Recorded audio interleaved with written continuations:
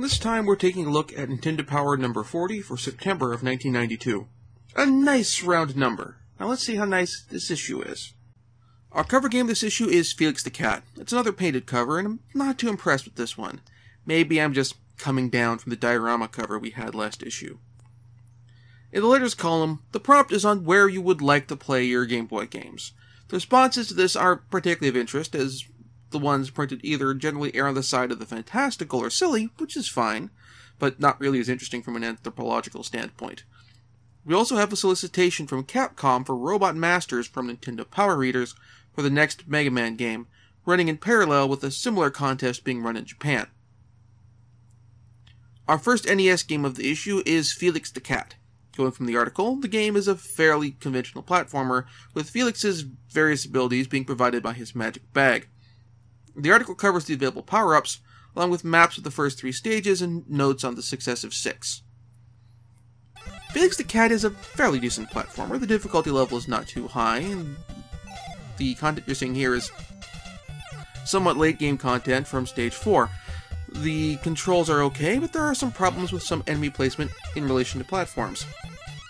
The game does have limited continues, which is something of a bugaboo of mine, but otherwise the game is solid, and though nothing really stands out about the game.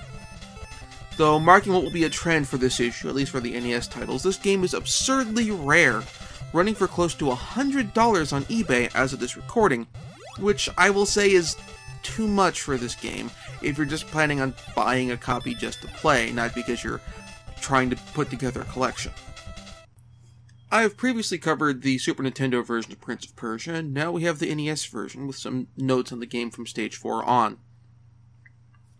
Prince of Persia is a game that needs more buttons than two, or arguably, arguably four. The NES version has several problems with context-sensitive commands not working quite right, and the animations not shifting fluidly between each other, though that latter point is more related to the hardware hardware specifications of the NES over those of the Super Nintendo. Now this is a damn shame because that last point is something that the Game Boy version of the game managed to pull off, even if it couldn't pull off a sufficiently sized screen and issue-free controls. I recommend sticking with the Super Nintendo version of this game instead. Next up is Little Samson, which is the rarest game I've covered thus far. We have maps of the first six stages and notes on stages 7 and 8. Little Samson is an interesting game which plays a little like Mega Man, which makes sense because one of the original designers of Mega Man worked on this game. However, this game has some distinct issues that are separate from Mega Man, particularly related to the level design. Rather than switching weapons, you have a party of four characters, each with distinct abilities. With Lickle, who I believe is meant to be the titular Little Samson, being the sort of stock Mega Man character whose abilities will work in all scenarios. To the game's credit, the game does a tutorial level for each member of the party, which works fairly well. Sort of. I say sort of because, for example, in the tutorial level for Golem, the large stone guy, the level design almost works for teaching you Golem's abilities and Golem's limitations. Except for the problem that Golem can't dodge, and he gets too many enemies thrown at him too fast to take them take them all out. On the one hand, throwing some cheap hits in would make sense, it teaches the player that Golem's mobility is limited, but he's got enough hit points that he can take a hit or two without too many problems. However, the amount of enemies thrown at the player through these sections are enough as to make what would be a straightforward tutorial level incredibly tedious. Still, the game is fun, but from a non-collector standpoint, I don't know if it's worth the incredibly high price that this game regularly asks for. In the classified information column, we have notes on the roulette tells in Casino Kid 2. And in this installment of the Legend of Zelda comic, Link rescues the first princess and gets a lead on Zelda's location. Starting off with the Game Boy titles, we have The Jetsons Robot Panic, based on the Hanna-Barbera science fiction sitcom. We have maps of the first three levels, along with notes on stages 4 through 6. This game is really bad really bad. Between force scrolling on the levels with Elroy, and a jump that near as I can tell is impossible on Jane's level, this game is simply not worth playing. My best guess for why this game was featured in Nintendo Power at all is because at the time of this issue release, there were simply not enough Game Boy games out to fill this issue in terms of games of quality. Next up is Dr. Franken, and I have no idea what type of game this is or how it's structured. It looks like some sort of adventure game where you collect items to solve puzzles and explore an environment in a nonlinear fashion. The magazine is a map of levels 3, 4, and 5 of the house and a flowchart of the items you need to progress in the game, along with notes on floors 6 and 7. This game is also not very good. It wants to be a nonlinear adventure game where you need to collect a series of items in a particular order in while, exploring an environment in with a certain degree of freedom. That's the nonlinear part. The linear part is you got to collect the items in order. So hybrid of the two. But you're not solving any puzzles with the items. You're not giving any clues in the game as to what is the ideal order to those items. So if you don't have the flowchart in the Nintendo Power Guide, you are in something of trouble. Additionally, you're not given any clues as to what items are where, leading leaving you to wander around aimlessly listening to a admittedly decent chiptune version of the Moonlight Sonata. Perhaps what makes the failure of this game a little more disappointing than the failure of, for example, the Jetsons Robot Panic, is if this game had given the player a little guidance. For example, clues in level environments telling him telling the player where certain items are, or what the ideal item order is, it could have been a much better game. Moving on, we have Kingdom Crusade, a fantasy strategy game for the Game Boy. If Archon was chess turned to an action strategy game, Kingdom Crusade is Stratego turned into a action strategy game with a side of Go. The aim of the game is to capture a collection of forts on a map. Each side is made up of a selection of characters, each with their own special abilities, and to win you have to capture, well, all of the forts on that map. You do this by having characters move through each of the squares around a castle and finally the square that has the castle. Through this process you will also fight the characters that your opponent has in real-time combat. And what this does, ultimately, is turn this game into a real-time strategy game. When you are on the map screen, moving characters through the map screen, or selecting which characters you want to do and moving them around, your opponent is doing the same thing, also in real time. This is basically the first real-time strategy game on a portable system, though not the first on consoles, as Herzog's Zwei predates this game. It's a remarkably inventive game, and if I had any real complaints about it, it's that this game is held back by the hardware limitations of the Game Boy. Sadly, this game has never gotten a PC or console version, which I think would clear up some of the game's limitations, particularly in relation to stuff on screen and controls. Wrapping up the Game Boy titles, we have Barbie Game Girl, a collection of Barbie themed mini games. I am skipping this. These collections have never been good in a very gross. We're making a shovelware game for girls because, and we're not even going to try to make a good game because it's for girls t- sort of way. In Super Mario Adventure, Mario and Luigi are trapped in the ghost house and get bothered by Boos. The comic timing of this, well, comic really shows in this installment. In Counselor's Corner, we have a whole bunch of tips for a link to the past. In Nester's Adventures, Nestor is playing Wings 2, and the advice is to level up your pilot's mechanical stat to maximum so you can do a split S and other similar maneuvers. Moving on to Super Nintendo titles, we have Dino City, a prehistoric platformer. The guide has maps of some of the game through Stage 4. The article implies there are branching paths through some of the levels, but there isn't any information or much information on where those branches occur aside from the first level. Dino City is based on the game, or of the film, Adventures in Dino City, and it's also not very good. The majority of this problem with the game is you take a lot of cheap hits, three main ways. The first is through the immunity period for enemies. When you hit an enemy with attack, they have an immunity period that lasts for a couple seconds, during which time you cannot damage them. However, the enemies are not stun locked during this period, so while you cannot attack them, they can attack you. The second is from several jumps in the game. These jumps put you on rising platforms with an enemy above them and an elevated platform to their right. The idea behind this from a design standpoint is clearly apparent looking at it, as you should be able to jump off the platform before the enemy is able to attack you. In practice, if you're able to jump high enough to get off the platform, and theoretically land on the new platform, the, you have entered the attack box of the enemy, and thus you get hit. The third is in the jump pads you need to use to traverse the environments. For some goddamn reason, these pads switch between being bounce pads and spikes. So you have to get the timing when you jump on and when you jump off them to get a boost perfect.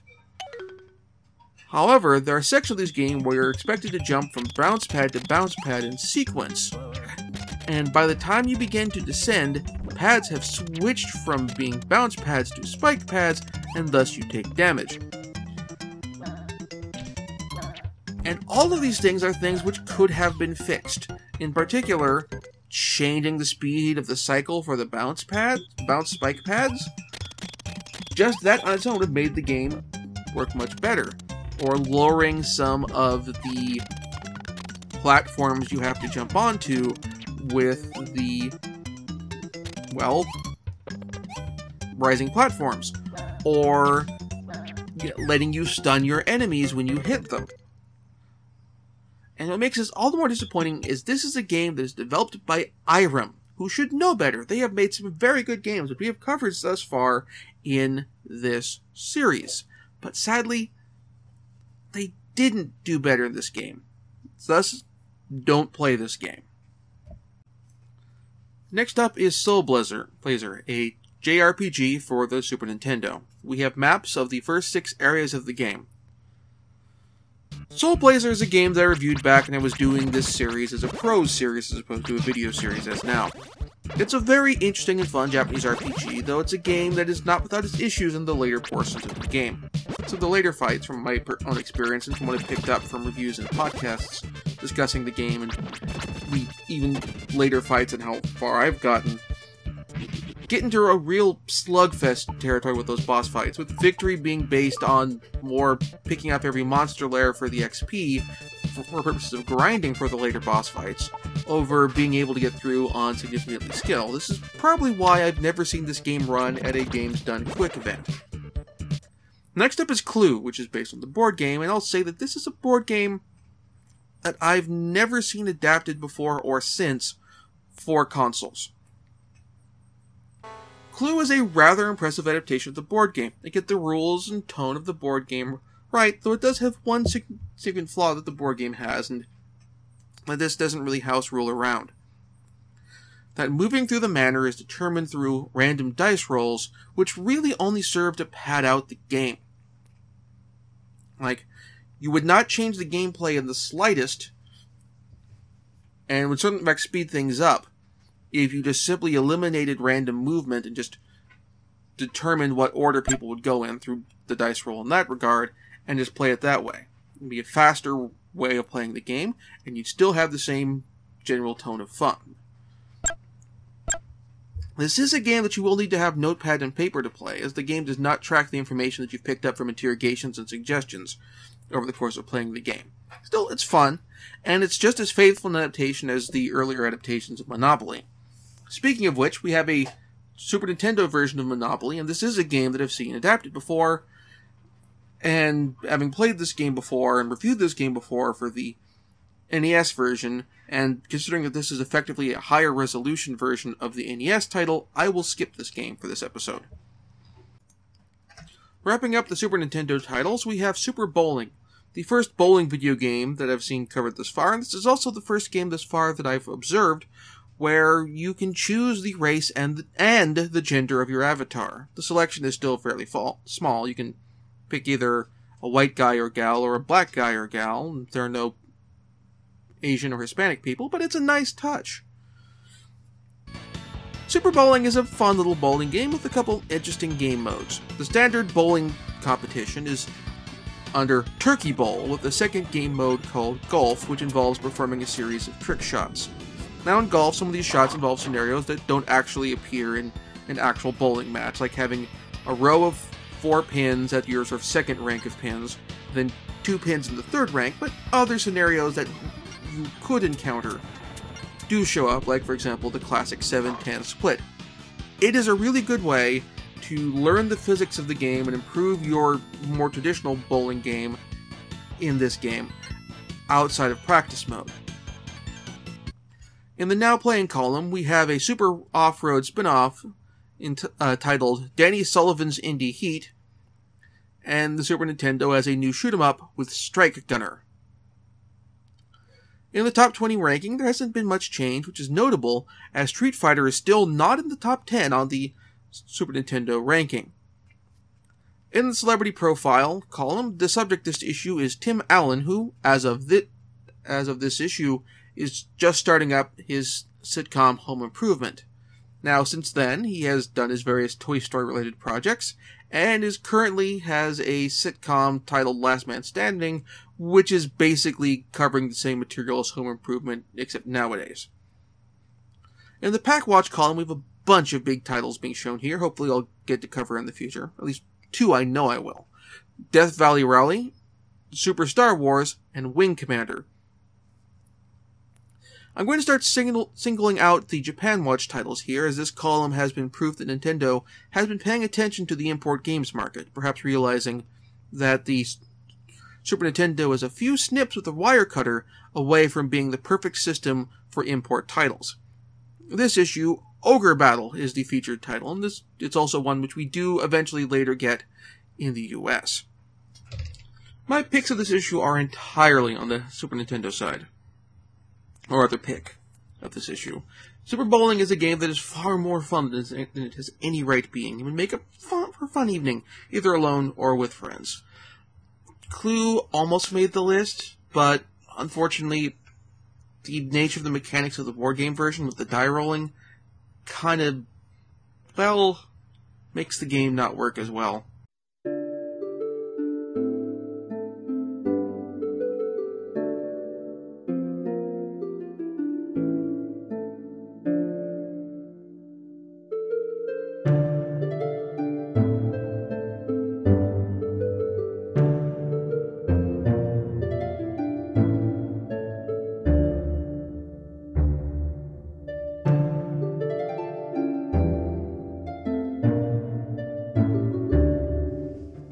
Once again, thank you very much for watching. If you enjoyed the show, please like and subscribe to this channel. Subscribing gets you notified when future episodes come out, and liking lets me know that you enjoyed the episode.